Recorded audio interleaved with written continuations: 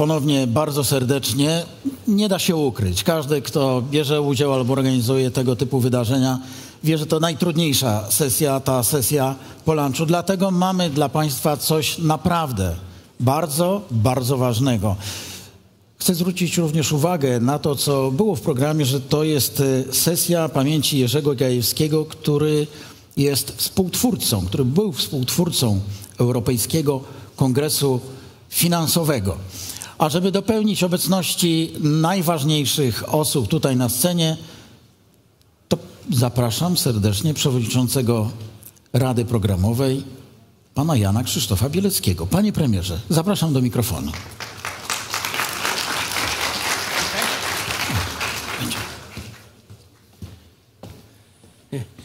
Dzień dobry Państwu.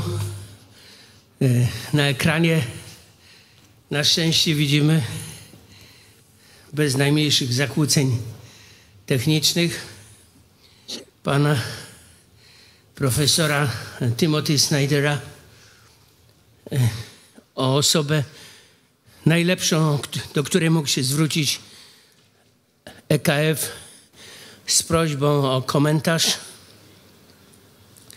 Profesor Snyder,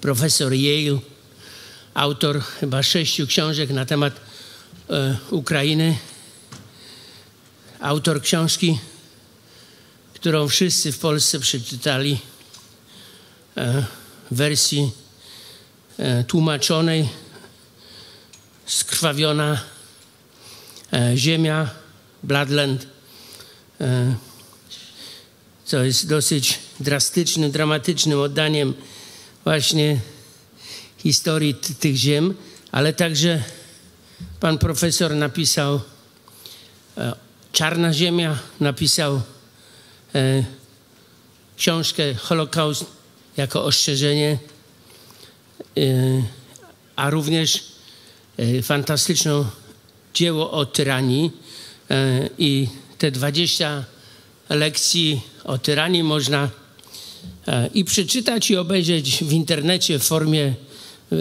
wykładu, więc jest e, fantasty- e, e, przed Państwem po prostu najwybitniejszy znawca Europy Środkowej, Europy Wschodniej, wielu zdarzeń europejskich, profesor Snyder, który mam nadzieję, że po swoim wystąpieniu zgodzi się przyjąć jedno, dwa lub może ciut więcej pytań, ponieważ temat e, pańskiego wykładu e, praktycznie istnieje od pierwszej godziny e, naszego kongresu i rozmawiając o wyzwaniach, o szansach, o inflection point, e, do których mm, niedawno jeszcze, e, do którego odnosił się profesor Goodhart, no ciągle wracamy na ile ten inflection point będzie odbijał się na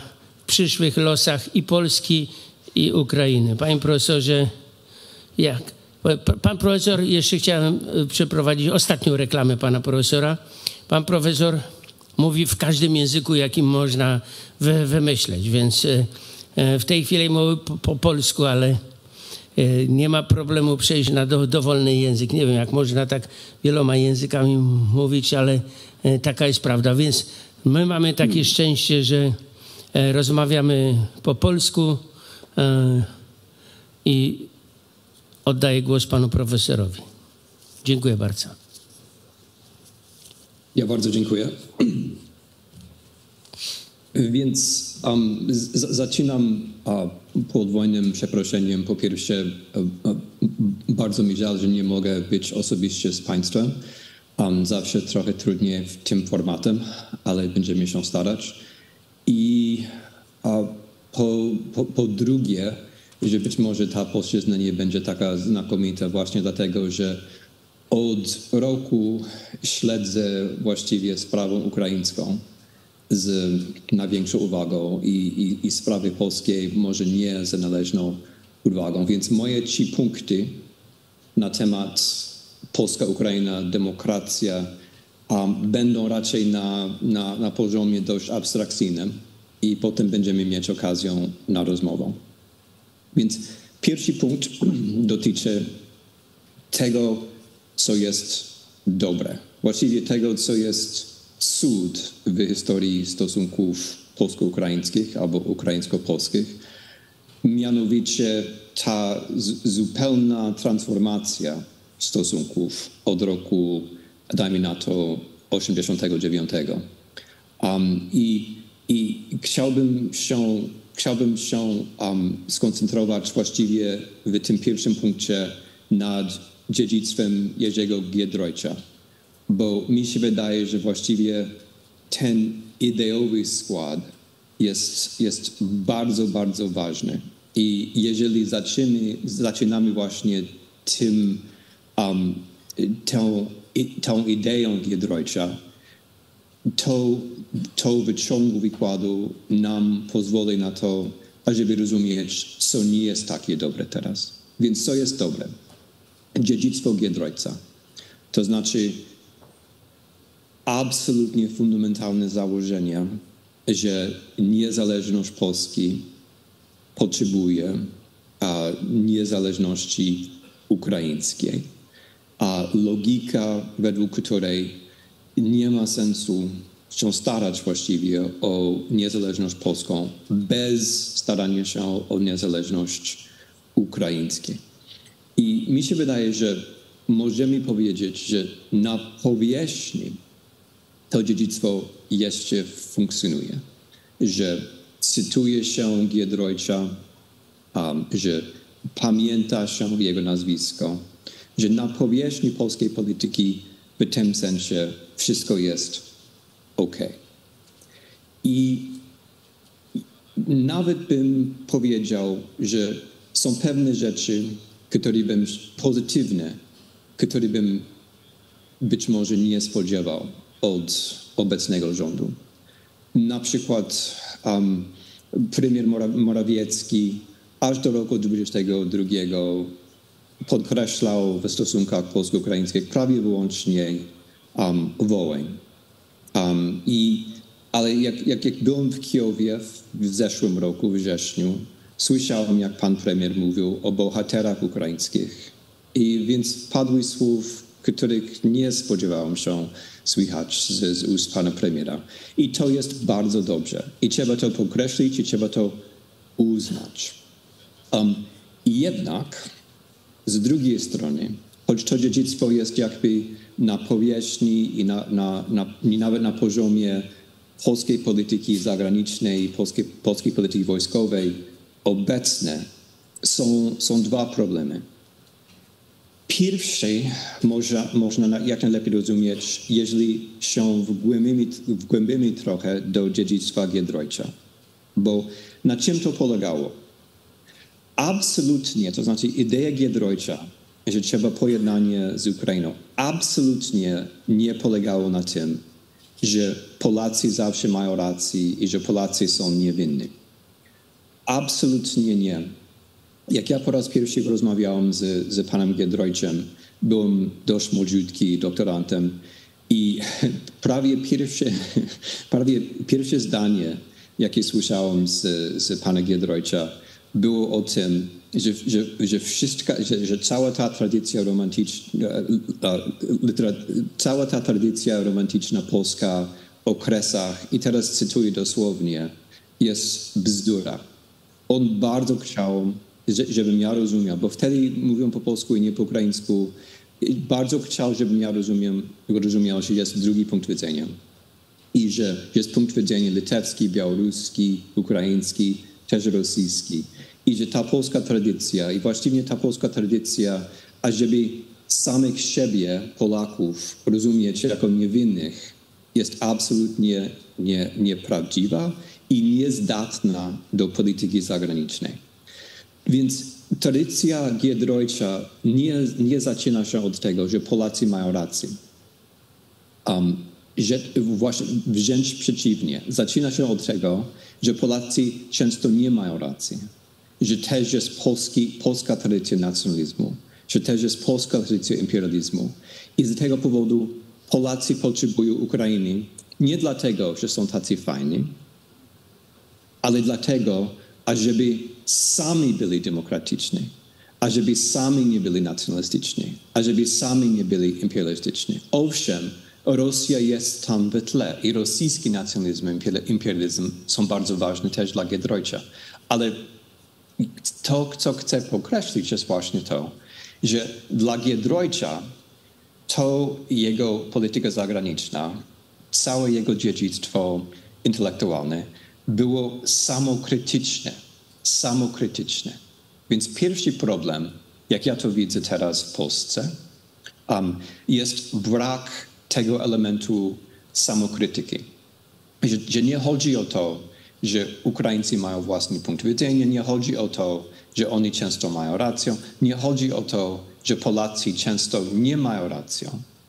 Chodzi o to właściwie teraz niestety, że Polacy albo PiS zawsze miał rację. Ale PiS nie zawsze miał rację co do Ukrainy. Absolutnie nie. Duża część um, obecnych, obecnych działaczy pisowskich absolutnie nie mieli racji co do Ukrainy i Rosji. Macierewicz, choć nie w partii, w tej tradycji jest dobrym tego przykładem.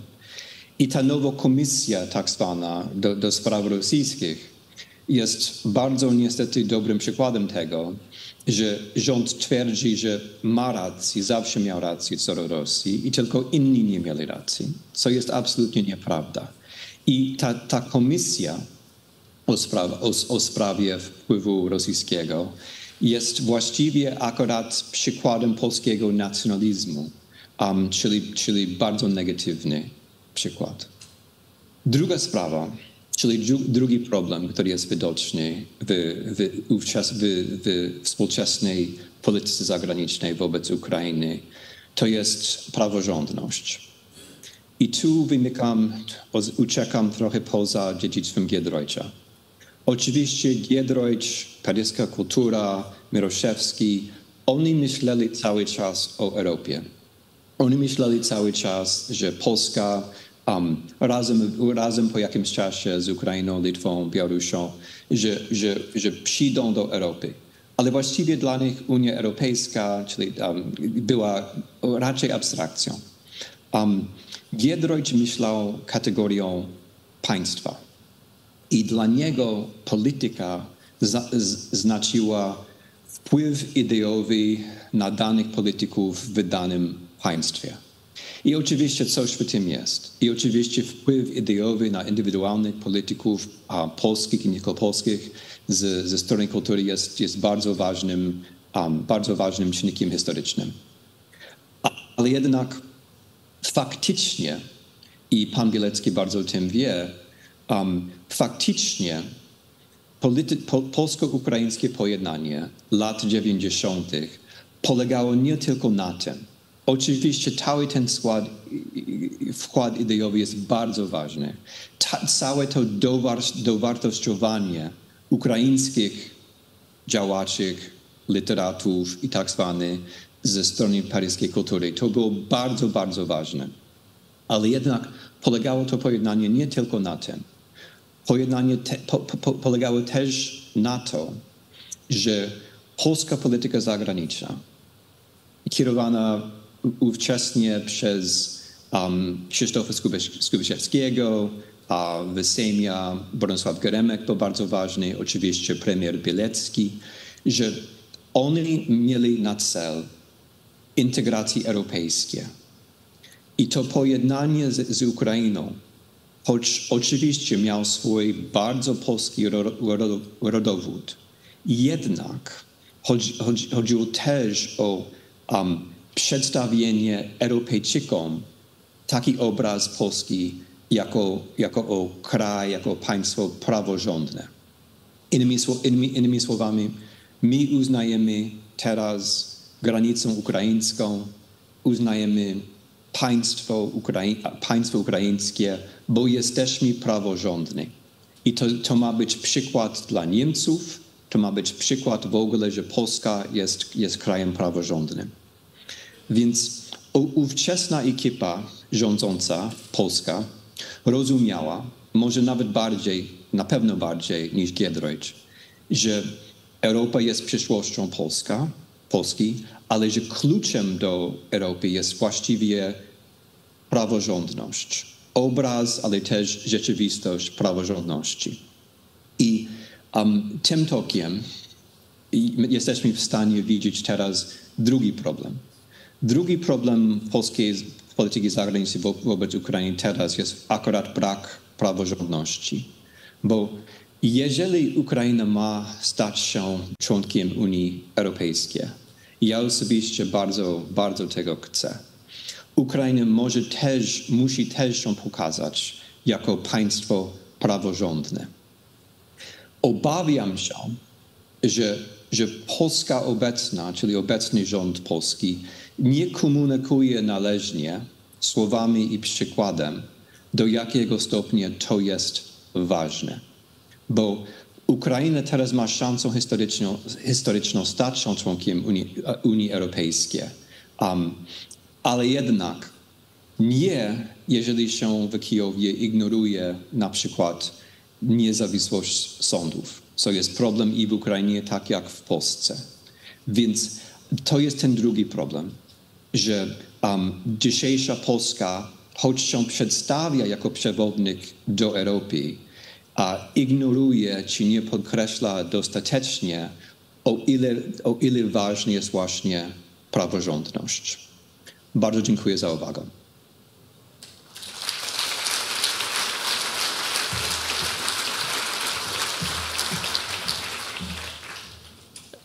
Dziękuję bardzo.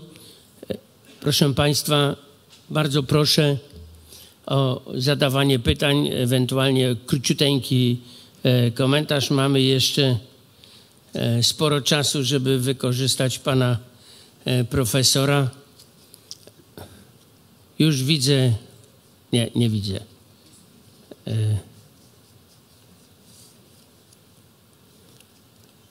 No więc, o, mam, mam nie, do, do, dobrego py, pytającego, panie profesorze. Yy, Bogus, Boże, kochany. Bo, Bogdan Borusewicz,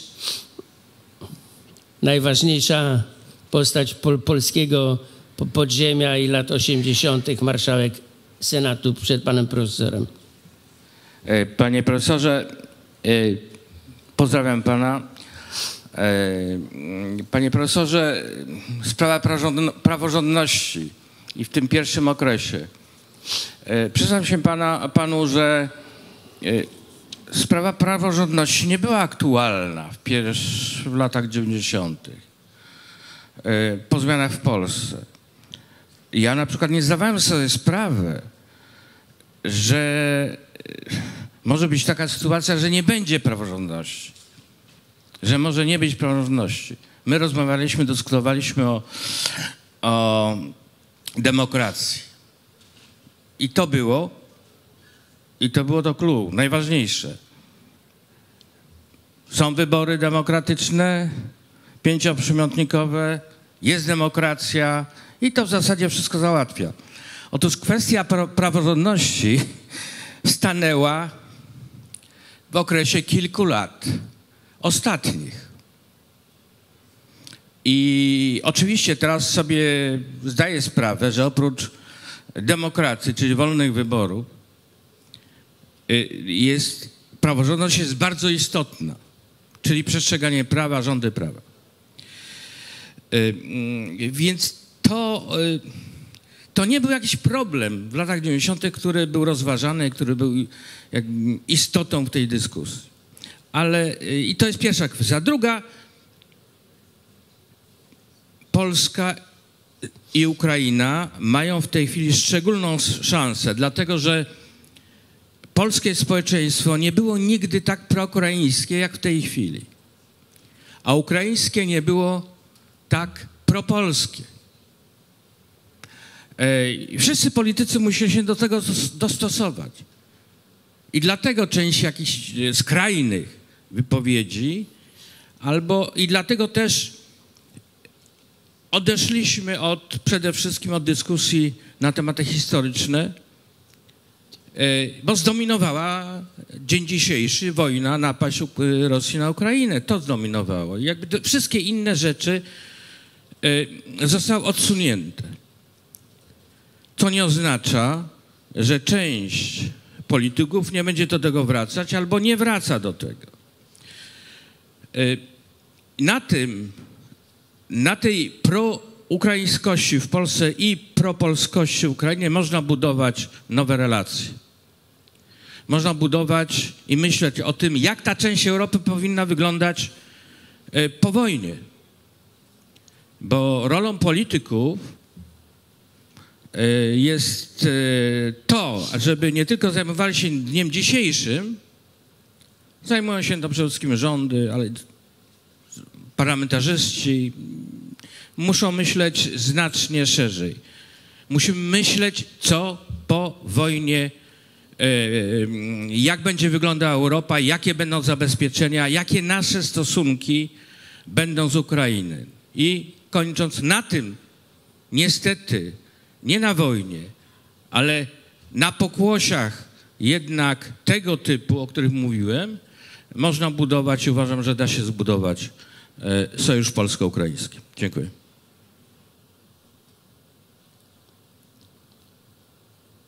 Więc um, jeżeli, jeżeli, chodzi o pierwsze pytanie, mi się wydaje, że może się wymykało um, nieporozumienie. Nie chodzi mi o to, że sytuacja na początku lat 90. i sytuacja polskiej współczesnej jest, jest taka sama. Chodzi mi o to, jeżeli, jeżeli pan Borusewicz sobie przypomina, to wcale nie było tak w latach wcześniejszych 90., że ewentualnie, czyli przyszli partnerzy europejscy uważali wtedy, wówczas, że Polska, Polska to jest państwo praworządne.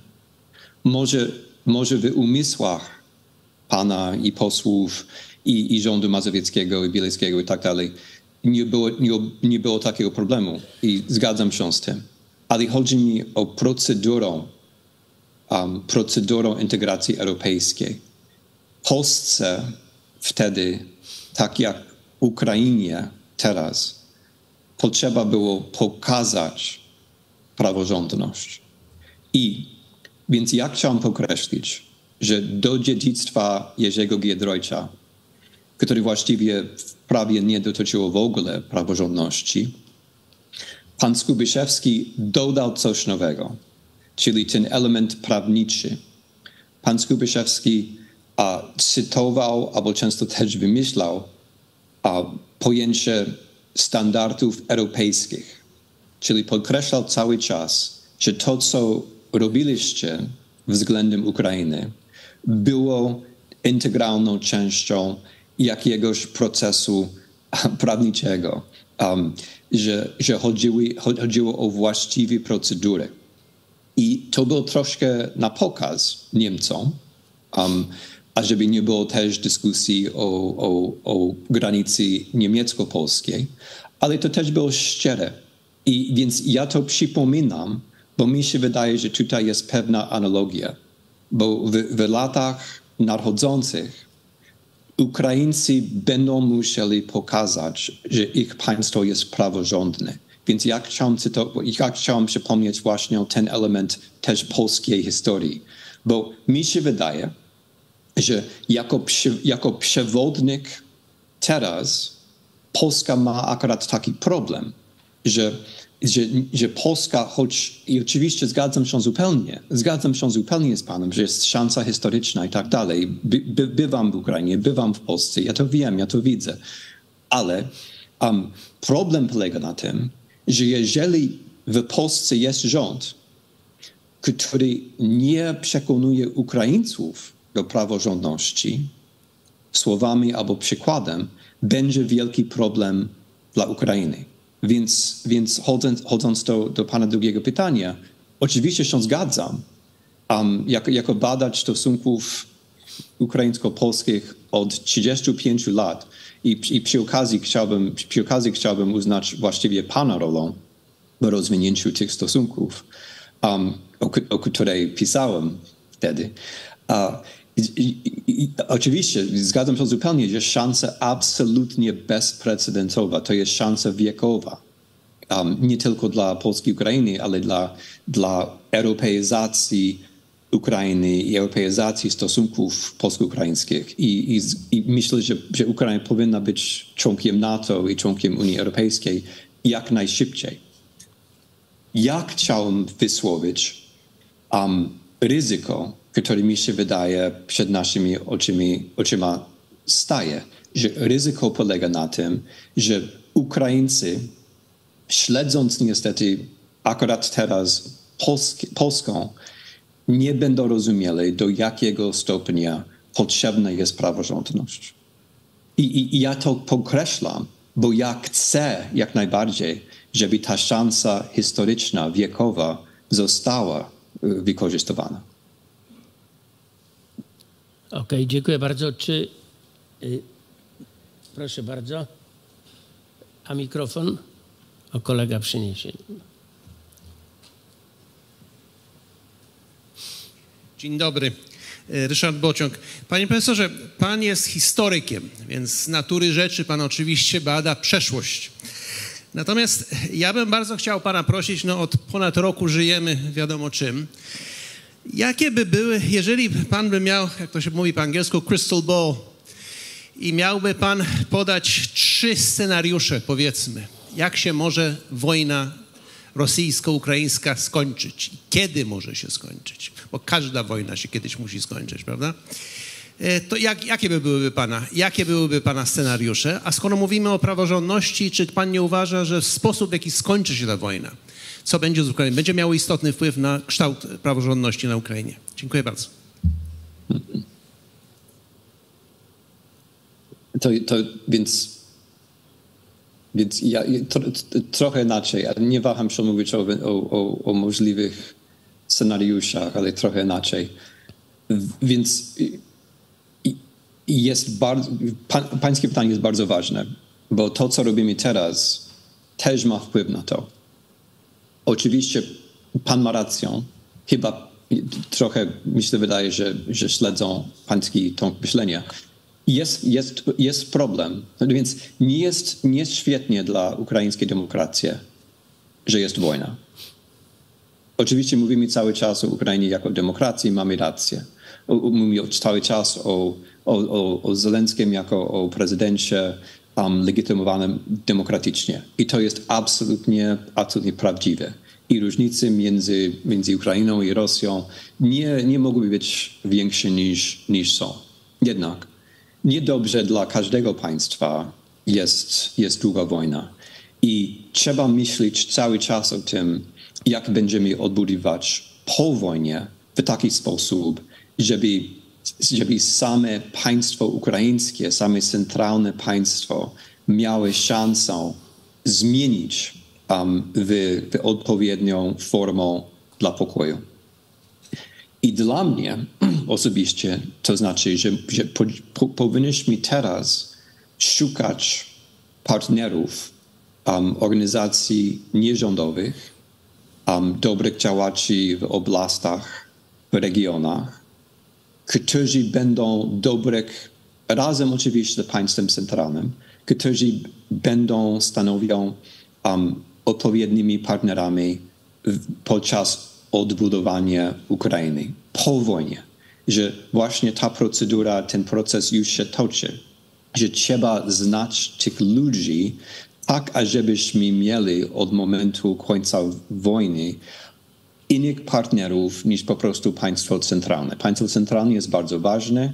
Oczywiście um, na, politycy, politycy Ukraińcy a od Zelenskiego są bardzo, bardzo imponujący, ale po prostu matematyka polityczna jest taka, że trzeba mieć innych partnerów dla dobra samej właściwie Ukrainy.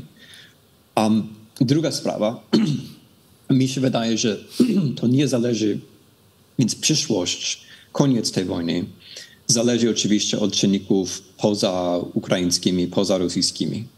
Mi się wydaje, że czynnik, czynnik amerykański jest bardzo ważny. Gdybyśmy u nas nie mieli kandydatów dwóch, czyli DeSantis i Trump, którzy są właściwie jakby obiektywnie po rosyjskiej stronie, um, mielibyśmy, lep, lep, lep, mielibyśmy lepsze szanse, żeby, żeby ta wojna się szybciej skończyła. Bo teraz, teraz w głowie Putina może um, może być tak, taki scenariusz, że po prostu trzeba, trzeba trwać do końca 24.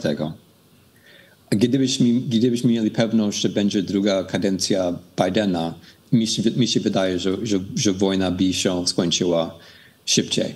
I to, to ma swoje znaczenie, bo oczywiście trzeba przekonać tych republikanów, ażeby, ażeby większościowo mieli tą samą polityką albo podobną polityką do, do, wobec Ukrainy.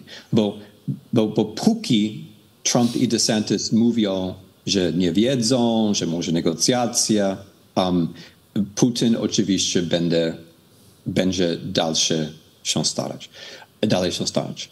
Um, więc, uh, i, więc jeżeli chodzi o scenariusze, mi się wydaje, że ktoś wygra i ktoś przegra. I że fundamentalnie, więc jest decyzja fundamentalna, decyzja oczywiście najbardziej ważna jest, jest kto ma wygrać, kto ma przegrać. I i, i, I, po naszej stronie powinniśmy jak najbardziej się starać, żeby Ukraińska wygrała jak najszybciej.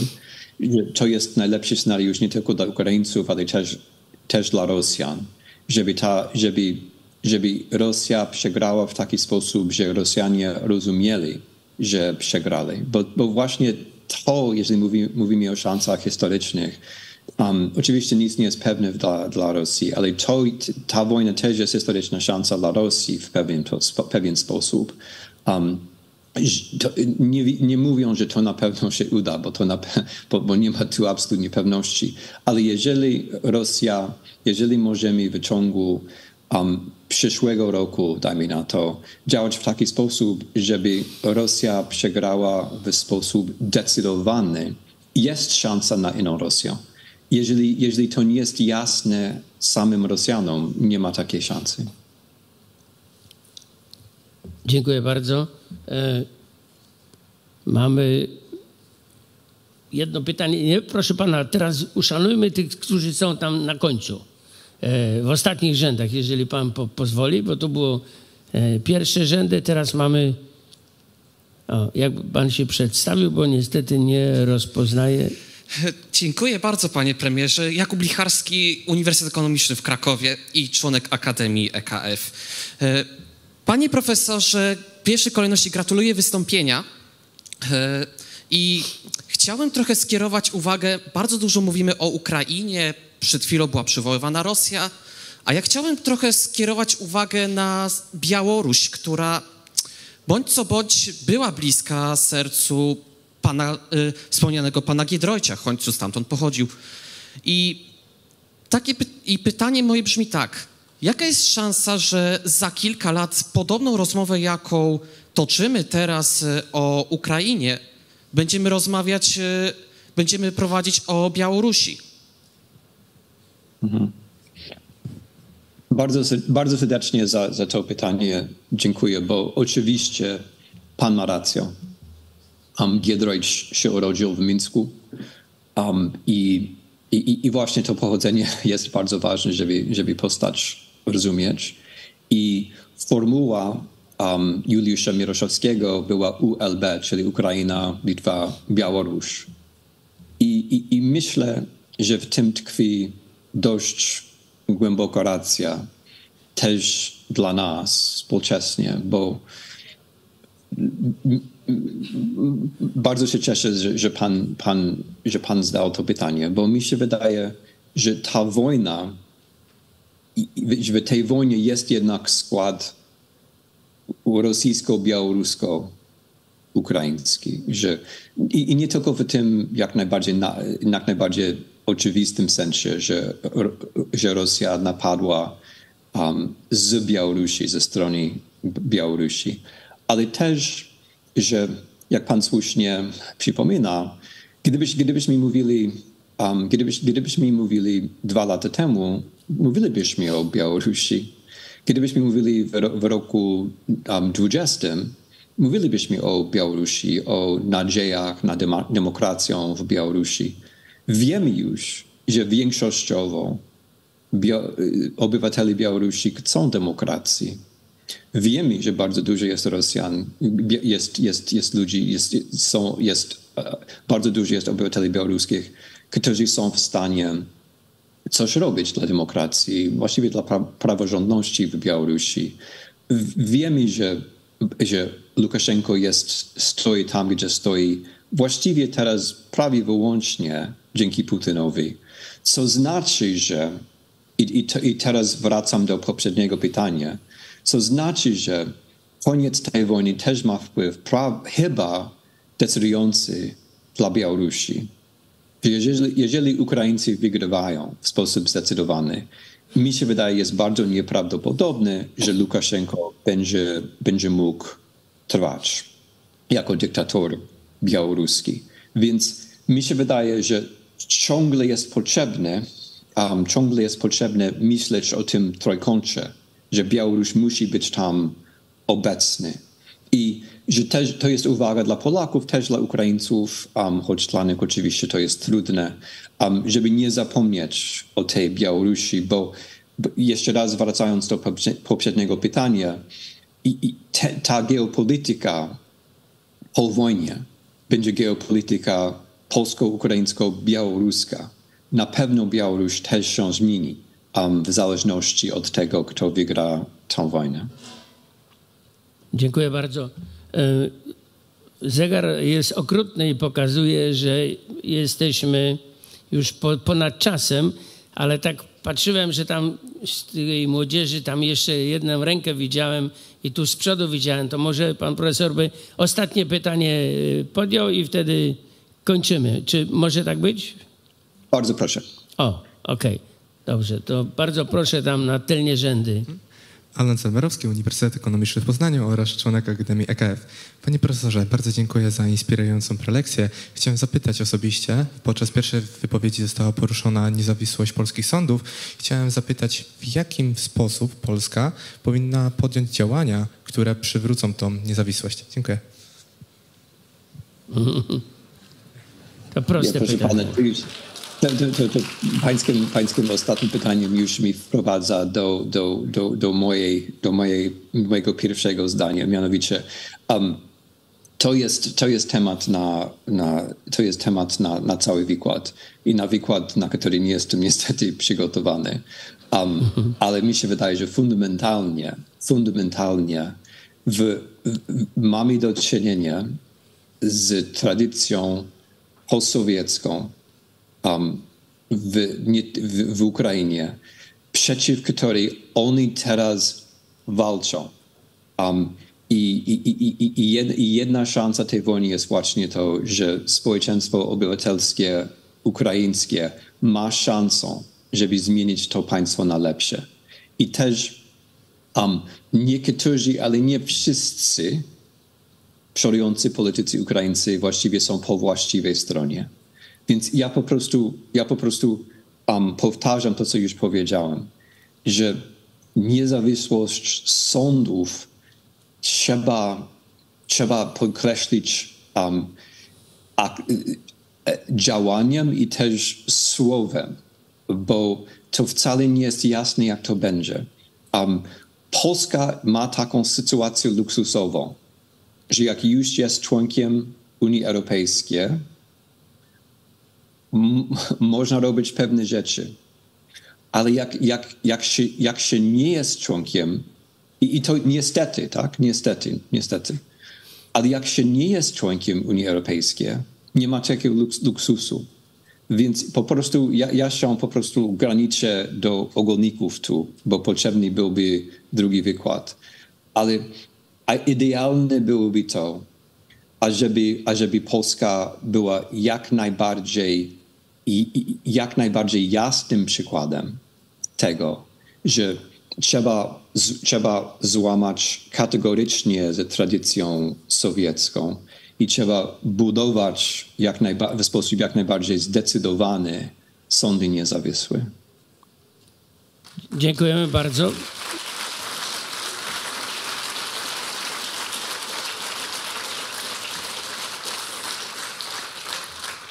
Dziękujemy bardzo. Działaniem i słowem to jest nasza najlepsza kon- konkluzja. Będziemy e, zmieniać dalej i nasz kraj i nasze relacje z, z tym ważnym sąsiadem, o którym pan profesor dzisiaj mówił. Życzymy wszystkiego dobrego. Dziękujemy serdecznie za łączność i zapraszamy w następnym roku już tak fizycznie, in person. Dziękujemy. Dziękuję bardzo.